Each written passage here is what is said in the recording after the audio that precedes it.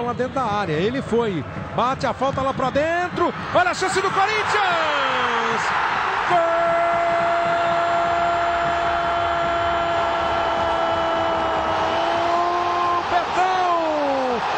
Do Corinthians!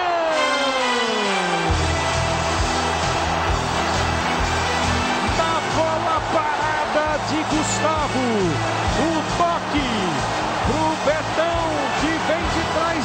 Testa pro fundo do gol. Gustavo bateu a bola lá pra dentro. O toque pareceu do Fábio Ferreira pro Betão marcar o gol que abre o placar do Morumbi. Betão, camisa 3.